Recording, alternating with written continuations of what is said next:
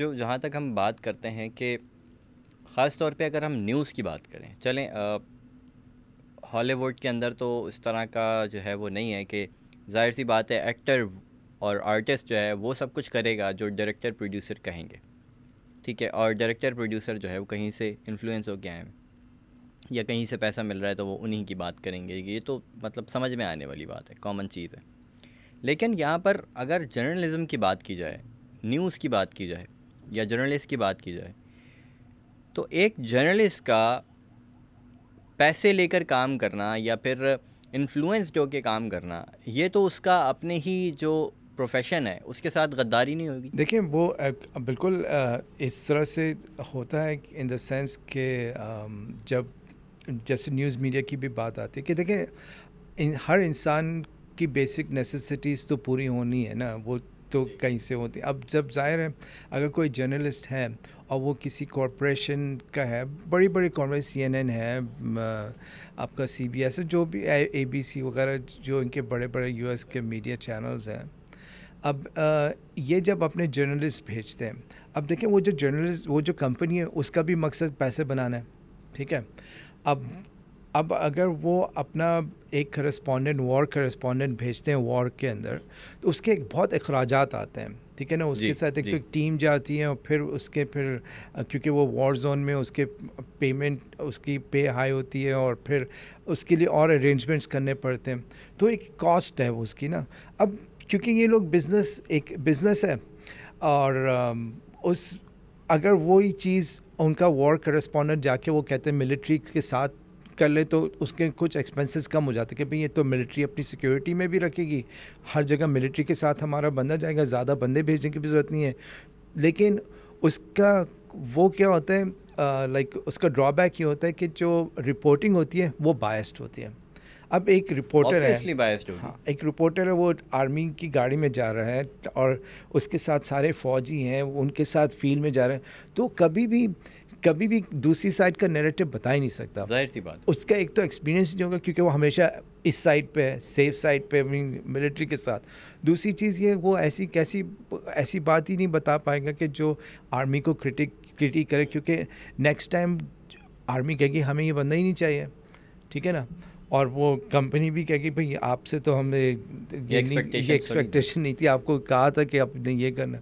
तो ये बात आ जाती है कि जर्नलिज्म भी जो है ना अगर इंडिपेंडेंट नहीं हो तो वो फिर तो सही मानों में जर्नलिज्म भी नहीं रहता ना क्योंकि आपने तो एक एक बेसिकली किसी और का नैरेटिव पेश किया जो उसमें इम्पार्शियलिटी हम्म, हम्म, नहीं है और आप बायस्ड हो गए एक तरह से। आप ये काम जो है वो आप जिस तरह बाकी सारी चीज़ें हॉलीवुड से करवाते हैं ये भी किसी एक्टर को हायर करके करवा लें। बिल्कुल बिल्कुल। बट बात तो वही है ना कि वो जर्नलिस्ट जो है वो भी एक एक्टिव प्ले कर रहा है फिर तो। बिल्कुल उसको बिल्कुल बिल्कुल टॉकिंग पॉइंट्स दिए जाते हैं स्क्रिप्ट तो दिया जाता है कि वो इसके मुताबिक आप रिपोर्टिंग करेंगे।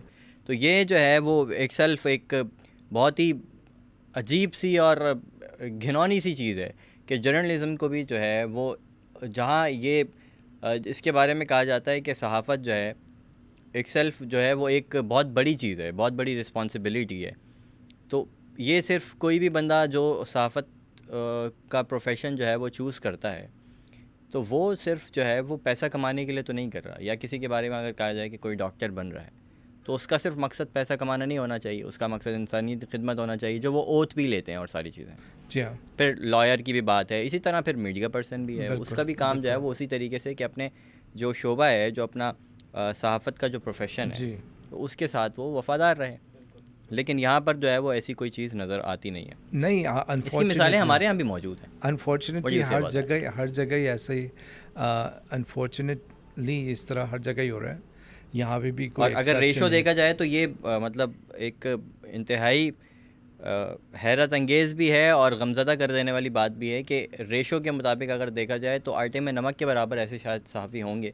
जो सच ही की बात करते हैं। बिल्कुल, बिल्कुल। और उनको फिर थ्रेट्स भी होती हैं और सारी चीज़ें। बहुत ज़्यादा थ्रेट्स होती हैं बहुत ज़्यादा थ्रेट्स होती हैं। आजकल ख़ास तौर पे क्योंकि हर हर आप दुनिया के किसी भी कोने में चले जाएँ जहाँ पर इंडिपेंडेंट जर्नलिस्ट होते हैं इन्वेस्टिगेटिव जर्नलिस्ट होते हैं उनकी लाइफ के ऊपर सबसे ज़्यादा अटैक्स हो रहे होते हैं। इनडायरेक्टली डायरेक्टली जहाँ पे भी ये इस, इस तौर पे इंटरेस्ट जहाँ पे होता है ना जो बड़ी कॉरपोरेशन आके कोई काम कर रही होती है अफ्रीका के अंदर भी अगर हो या साउथ अमेरिका के अंदर भी हो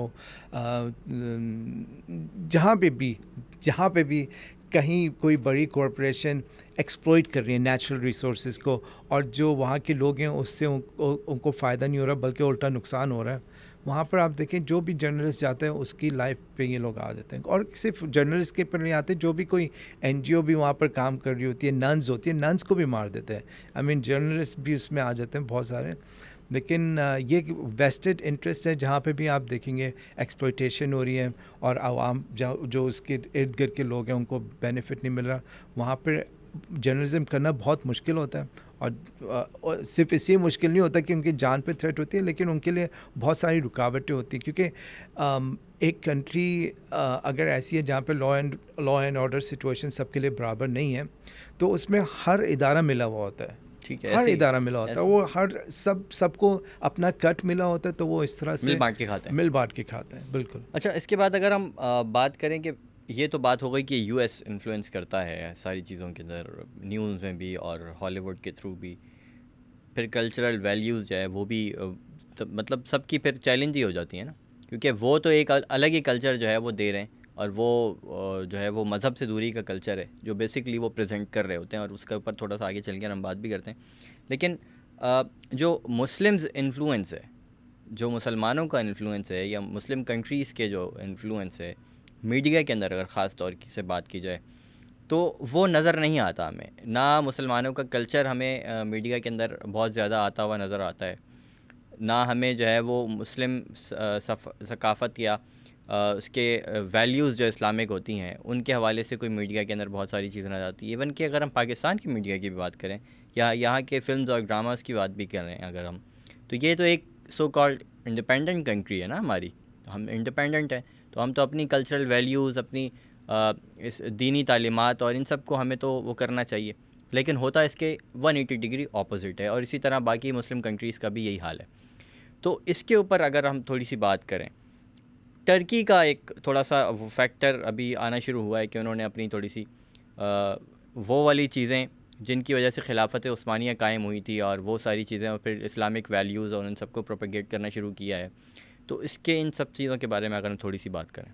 देखें इस इसमें बात मेनली इस इस आ जाती है कि आपका जो आ, हर मुल्क के अंदर ऑलमोस्ट सबकी बात नहीं करते लेकिन मोस्ट कंट्रीज़ में जो आपका मीडिया होता है जो जिन लोगों के अंडर मीडिया होते हैं उनकी वैल्यूज़ पे डिपेंडेंट होती हैं ज़्यादातर चीज़ें ठीक है?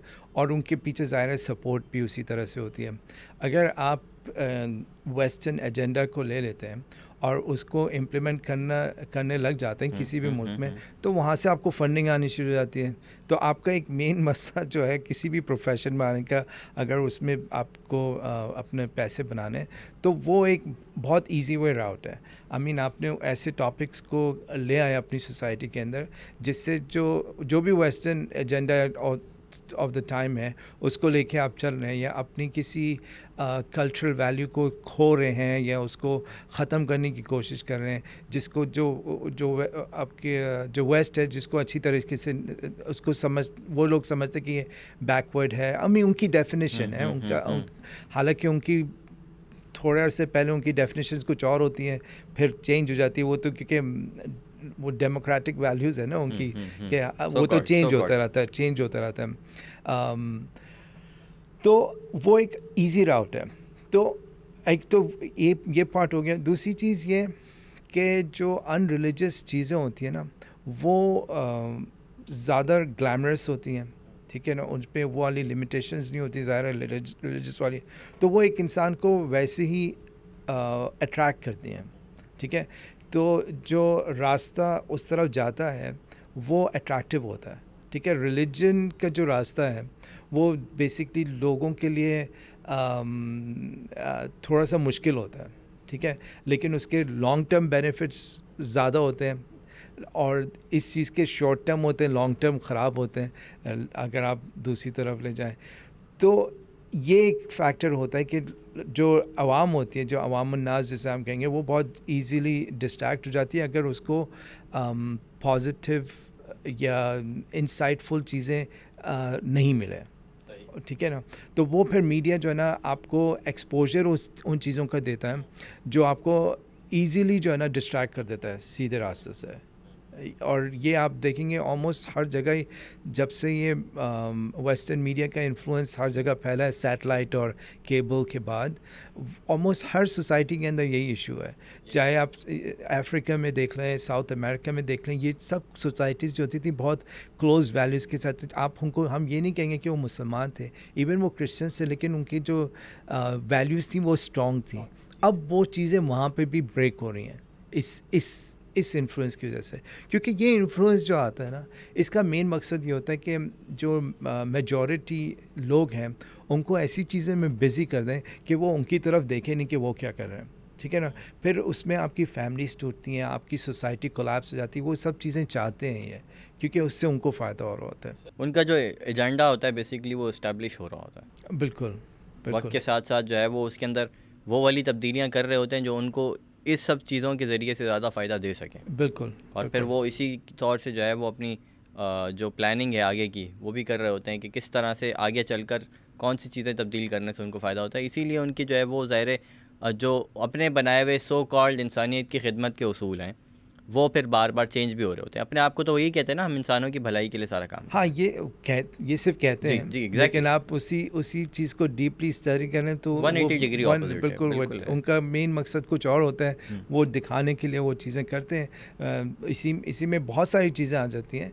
कि वो एक जो उनकी प्रोजेक्शन है जो नेरेटिव बिल्डिंग प्रोसेस है उनका उसके अंदर वो यही करते हैं कि अपनी वैल्यूज़ जो उनकी लिखी होती हैं किसी भी किसी भी छोटे इंसिडेंट को वो उसको बड़ा करके पेश करते हैं कि भाई देखा हम तो हम तो ये करते हैं ये हमारी वैल्यूज़ हैं इस पर हम लेकिन असल में कुछ और हो रहा होता है पीछे ठीक है ना? आ, हम रीसेंट हिस्ट्री की बात कर लेते हैं कि आप आ, जब इराक़ के ऊपर इन्होंने नाइन अलेवन के बाद अटैक किया मेजॉरिटी ऑफ़ द वर्ल्ड के अंदर सबको पता था कि जो अलकायदा है उसका और सदाम हुसैन का कोई लिंक नहीं है। हम्म, ठीक है? हम्म। लेकिन क्योंकि वेस्टर्न जो आई मीन हॉलीवुड की पोर्ट्रेल की वजह से जो और ना हम मुसलमानों के कोई स्ट्रॉन्ग मीडिया ना होने की वजह से बहुत आसान था उन्होंने वेस्टर्न कंट्रीज़ के अंदर कन्विंस करना लोगों को कि ये था। हालाँकि नहीं था। यही तो था। वो ये कह रहे थे कि यही था। हाँ यही था। उन्होंने यानी उनको बहुत आसान उनको कोई टाइम नहीं लगी क्योंकि आपने लोगों को इतना ज़्यादा मेहनत नहीं करनी पड़ी। आपने एक नैरेटिव बिल्ड किया हुआ है लोगों को ब्रेन वॉश किया हुआ है उस पर बहुत आसानी से वो चुटकी यानी कंडीशन कर दिया कि आपने ये ये है। यानी ज़रा सा कुछ होता है वो आराम से उनको यानी प्लेसमेंट करना बहुत आसान होता है कि यहाँ पे हमें इनको टारगेट करना है। कोई भी चीज़ हो ब्लेम इनको करना और वो हो जाता है आराम से। अच्छा अभी मैंने ना थोड़ा सा पाकिस्तानी मीडिया की ज़िक्र की कि हमारे ड्रामाज हमारी फ़िल्म कैसी बन रही हैं। और जो हमारा न्यूज़ मीडिया भी है या जो भी। तो एक तो ये ये भी जो है, पूरी दुनिया की तरह यहाँ पर भी वही कुछ हो रहा है जो पूरी दुनिया के अंदर हो रहा है। यहाँ भी हमें वही कल्चर जो है वो हमारा मीडिया भी और फिर मीडिया के बाद, क्योंकि मीडिया को सोसाइटी फॉलो करती है तो फिर सोसाइटी भी। तो फिर हम देखते हैं कि वही सोसाइटी जो है वो उसके आज के टीनेजर्स जो हैं वो उससे एक दो स्टेप और आगे चले जाते हैं। स्क्रीन पे ज़्यादा आगे चले जाना जो है वो आ, अगर मेन स्ट्रीम मीडिया की बात कर लूँ मैं तो वो उस तरह से शायद बहुत ज़्यादा आगे की चीज़ ना दिखाते हों। ठीक है? नहीं दिखाते कुछ कुछ एक चीज़ों में एहतियात करते हैं। हालाँकि बहुत सारी वलगैरिटी चल रही होती है लेकिन लेकिन उनके इन्फ्लुएंस्ड जो टीनेजर्स हैं हमारे वो फिर एक दो स्टेप और आगे चले जाते हैं। क्योंकि वो भी ज़ाहिर सी बात है हमारे मीडिया के साथ साथ वो नेटफ्लिक्स का जनरेशन है। तो फिर वो यूट्यूब पर व्लॉगर्स और फिर यूट्यूबर्स फिर सोशल मीडिया एक्टिविस्ट और फिर इन्फ्लुएंसर्स जो है टिकटॉक पे देख लें आप यूट्यूब पे देख लें आ, कहीं पर भी देख लें तो आज हमारी जो यूथ है हमारी जो टीनेजर्स हैं वो सब जो कुछ कर रहे हैं वो भी एक इंतहाई मतलब इसको अगर मैं यूँ कहूँ कि फ़िक्र अंगेज़ बात है हमारे लिए कि आगे हमारा क्या होने जा रहा है। तो इसके बारे में क्या कहें? देखें, ये ये एक बहुत बड़े पॉइंट है। आपने जो बात की कि हमारे जो यूथ है, उसको इस तरह से डिस्ट्रैक्ट किया जा रहा है और एक ऐसे पैथ पे ले जाते हैं कि वहाँ पर फिर उनके लिए मज़ीद उस पर आगे बढ़ना आसान हो जाता है।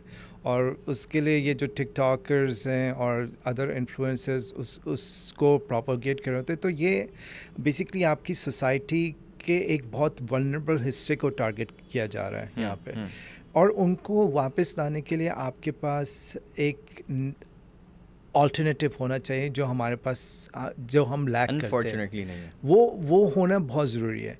आपने थोड़ी देर पहले बात की कि टर्की के अंदर थोड़ा सा आजकल तुर्की में जो है वो इन चीज़ों को थोड़ा सा प्रोपोगेट कर रहे हैं थोड़ा सा चीज़ें उस तरह से बता रहे हैं जिस तरह से असल में हैं। और एक जो आ, मुस्लिम उम्मा के जो यानी यूथ है उसके अंदर जो आइडेंटिटी क्राइसिस है उसको काउंटर करने के लिए एक चीज़ प्रेजेंट की है उन्होंने कमेंडेबल है। तो वो चीज़ ऑलमोस्ट हर सोसाइटी के अंदर होनी चाहिए क्योंकि हमारी हिस्ट्री के अंदर बहुत ऐसी सारी चीज़ें हैं कि जो अब हमारे यूथ को उस पैथ पे रख सकें। लेकिन लेकिन आ, वो जो फोर्सेस हैं जो फोर्सेस उसके अगेंस्ट काम कर रही हैं उनका मकासद कुछ और हैं। वो चाहते हैं कि हमारा यूथ डिस्ट्रैक्ट रहे। ठीक है? ताकि जो जो चीज़ें हमारे मुल्कों में हो रही हैं सिर्फ़ मैं यहीं की बात नहीं कर रहा हूँ ऑलमोस्ट जो मुस्लिम उमा के अंदर बहुत सारी कंट्रीज़ हैं जो कि एक्सप्लॉइट हो रहे हैं रोज़ाना ठीक है ना? सालों से एक्सप्लॉइट हो रहे हैं।